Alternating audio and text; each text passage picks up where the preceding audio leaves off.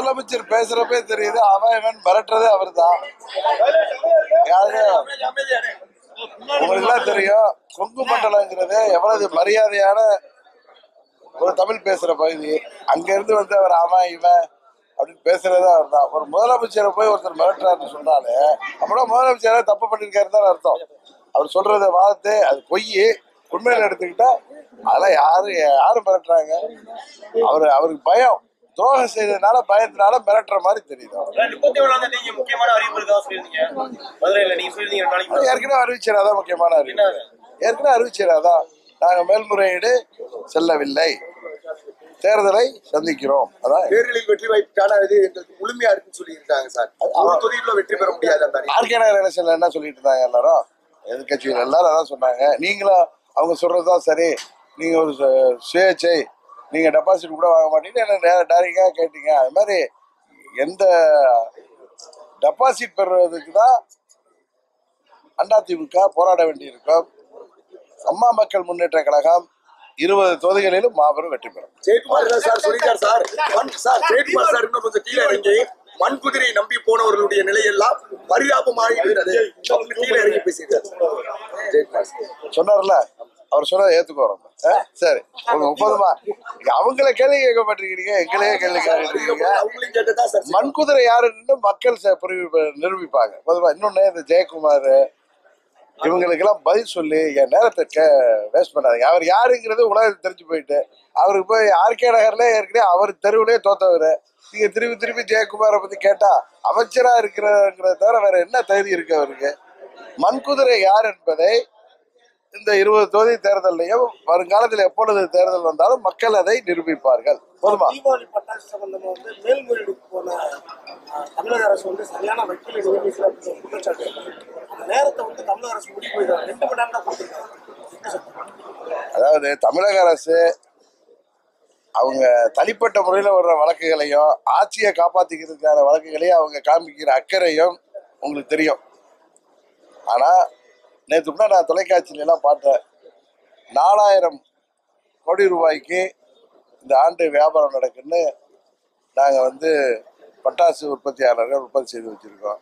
இப்படி ரெண்டு மணி நேரம் வெடிக்கிறோம் அப்படின்னு சொல்கிறப்ப அவங்க பொதுமக்களை கோரிக்கை வைக்கிற அளவுக்கு தான் அவங்களோட நிலைமை இருக்குது அதனால் இந்த அரசாங்கம் இனிமே பொதுமக்களை மக்களுடைய எண்ணத்தை அறிஞ்சிட்டு போயிட்டு நாலு நாளில் எண்ணத்தை வாங்கி தர போகிறாங்கன்னு தெரில ஆனால் இந்த பட்டாசு தொழில் அதை நம்பி குறிப்பாக தென் மாவட்டங்களில் பல ஆயிரக்கணக்கான குடும்பங்கள் இருக்கு. அவங்களுடைய வாழ்வாதாரங்கிறது பெரிய கேள்விக்குறியாக இருக்கு. உச்சநீதிமன்றம் ஒரு தீர்ப்பு சொன்னதை நம்ம போய் அதில் ஏதாவது சொன்னோம்னா இவர் உச்சநீதிமன்றத்தை எதிர்த்து பேசுகிறான்னு சொல்லுவாங்க.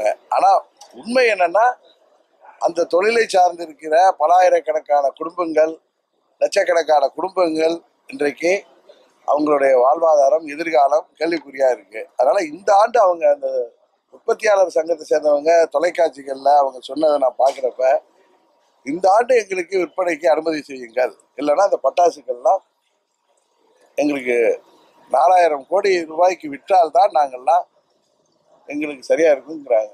அவங்க எதிர்பார்ப்பு. இல்லைன்னா அந்த பட்டாசுகள்லாம் வீணா போனால் என்ன பண்ணுறதுங்கிறது தான் யதார்த்தமான பிரச்சனை. அதனால மத்திய அரசு தமிழ்நாடு அரசாங்கம் உடனடியாக இப்போ இதுக்கு போனார்ல சிபிஐ என்கொயரியை தடை செய்யறதுக்கு அடுத்த நாளே போய் போட்ட மாதிரி இதில் உடனடியாக மக்கள் கருத்து என்ன இருக்கு?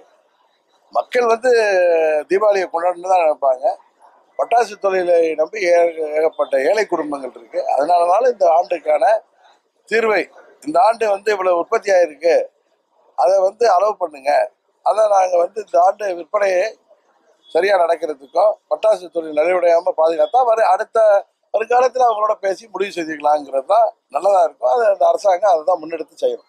ஓபிஎஸ் உள்ளிட்ட பதினோரு எம்எல்ஏக்களோட வழக்கு வந்து உச்சநீதிமன்றத்தில் ஒத்தி வைக்க முடியாது. அதனால வந்து உடனே நடத்தணும்னு சொல்லிட்டு அந்த வழக்குல வந்து அவங்களுக்கு சாதகமா தீர்ப்பு வராதுங்கிறதுக்காக இந்த பதினெட்டு எம்எல்ஏக்கள் இடத்தையும் ஃபில்அப் பண்ணி இப்போ இருபது தொகுதியிலே அவங்க தேர்தல் நடத்தி தன்னை தக்க இல்ல, இருபது தொகுதிகள்ல வந்து ரெண்டு தொகுதிகள் தான் ஜனவரி மாதம் முடியுது.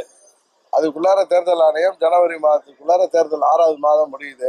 அந்த நேரத்தில் இந்த ரெண்டு தொகுதியில் சுனாமி அடிக்குதோ இந்த தொகுதிக்கு மாத்திரம் தனியாக புயல் அடிக்கலாம். அதனால தேர்தல் ஆணையம் இங்கே சீஃப் செக்ரட்டரி கவர்மெண்ட்டு இதெல்லாம் என்ன பண்ணுதுன்னு தெரில பதினெட்டு சட்டமன்ற உறுப்பினர்கள் தேர்தலோ இந்த இருபது தொகுதி தேர்தல் எப்பொழுது வந்தாலும் நாங்கள் மாபெரும் வெற்றி பதினெட்டு தொகுதியை நீங்க சொல்லிட்டீங்க மேல்முறையீடு கிடையாதுன்னு நீங்க உறுதியா சொல்லிட்டீங்க தேர்தல் தயாராயிட்டீங்க பொறுப்பாளர்லாம் நியமனம் என்ன போய் எங்க எங்க எங்களுக்கு தான் ஏற்கனவே பொறுப்பாளர் அங்கே நியமிக்கப்பட்டு ஆறு மாதம் ஆகுது.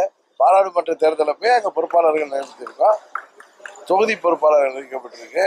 ஒன்றியம் பேரூராட்சி வரைக்கும் கிளைகளுக்கெல்லாம் பார்வையிடுற மாதிரி ஒவ்வொரு தொகுதியிலையும் பொறுப்பாளர்கள் நியமிக்கப்பட்டிருக்காங்க. அதனால் எங்களை பொறுத்த வரைக்கும் எப்பொழுது தேர்தலை தான் எதிர்கொள்வோம். இப்போ திருமங்கலத்தில் திருப்பரங்குன்றத்தில் செயல்வீரர் கூட்டம் சொல்லி முதலமைச்சர் துறை முதலமைச்சர் உட்பட எல்லாரும் வந்து இங்கே வானத்துக்கு பூமிக்கு தாண்டி குதிச்சாங்க. ஆனால் சீஃப் செக்ரட்டரி விட்டு அங்கே லெட்டர் எழுதி தேர்தல் ஆணையத்துக்கிட்ட தேர்தலை தள்ளி போடணும்னு அவங்க வந்து ரெட்டை நிலை எடுத்தவங்க. அது மாதிரி இந்த பொறுப்பாளர் அறிவிச்சிருக்க கூட நாங்கள் பயப்படலன்னு காமிக்கிறது தானே தவிர இந்த முப்பத்தி மூணு தொகுதியில் யார் யார் பொறுப்பாளர்னு பார்த்தீங்க இவங்க அத்தனை பேரும் ஆர்கே நகர் தொகுதியில் போன டிசம்பர் மாதத்தில் தேர்தலில் ஆர்கே நகர் தொகுதி மக்களால் தோற்கடிக்கப்பட்டவர்கள். அவங்க இப்போ இருபது தொகுதியிலையும் போய் அதே ஆர்கே நகர் மாதிரி அதே திருப்ப அவங்களுக்கு கிடைக்கும். இந்த முறை அவர்களுக்கு டெபாசிட் கூட கிடைக்காது என்பதுதான் பொதுமக்கள் எங்களுக்கு தெரிவிக்கின்ற மகிழ்ச்சியான ஒரு தீபாவளிக்கான செய்தி. ஆர்கே நகர்ல தேர்தல் நடந்தது வேற. அப்ப வந்து என்ன செய்யறதே செய்யாம எல்லாம் நடந்துட்டோம் ஆனா இந்த இருபது தேர்தல் வேற. அதாவது, சில பேர் சொல்றாங்க ஆர்கே நகர் தேர்தல் பெக்கூலியரான தேர்தல். ஒரு பக்கம் மக்கள் தீர்க்கமா முடிவெடுத்து இந்த அரசியல் நோக்கர்கள் இவர்களெல்லாம் தாண்டி முடிவெடுத்தாங்க. அது வந்து அம்மா அவர்கள் மறைந்த பிறகு அதுவும் குறிப்பாக துரோகம் செய்த பிறகு தொடர்கின்ற இந்த ஆட்சி மக்கள் விரோத ஆட்சி மக்கள் முடிவெடுத்த காரணத்தினால தான் அது அம்மாவுடைய தொகுதியிலே பிரதிபலித்தாங்க. அது வந்து தமிழ்நாட்டில் உள்ள எட்டு கோடி பொதுமக்களின் எண்ணம் தான் அங்கே வந்து வாக்காளர்கள் எதிரொலிச்சாங்க. இப்போ இருபது தொகுதியிலே அதுதான் எதிரொலிக்குமே தவிர நாங்கள் அங்கே அசந்துட்டோம் தூங்கிட்டோம் சொல்கிறதெல்லாம் சும்மா நாங்கள் தரையில் விழுந்தாலும் மீசியில் மண் ஓட்டலன்னு சொல்கிறது இங்கே எப்போ தேர்தல் வந்தாலும் இதே நிலைமை தான் அவங்களுக்கு வரும். எத்தனாயிரம் கோடி செலவு செய்தாலும் பொறுப்பாளர்கள்லாம் போய் உட்கார்ந்து அங்க ஆறாயிரம் ரூபாய் பைசல் செய்த மாதிரி இங்க பத்தாயிரம் இல்ல ஒரு லட்சம் வாக்க ஓட்டுக்கு கொடுத்தா கூட டெபாசிட் பெறுவதே கஷ்டம். நீங்களே வந்து உங்க வேட்பாளரை அறிவிச்சிட்டீங்கன்னு சொல்ற அவங்க குற்றச்சாட்டு உண்மையா எப்ப? எந்த- தேர்தல்ல? தொப்பிலையா இதுலயா தொப்பி முதல் தேர்தல் முதல் தேர்தல்.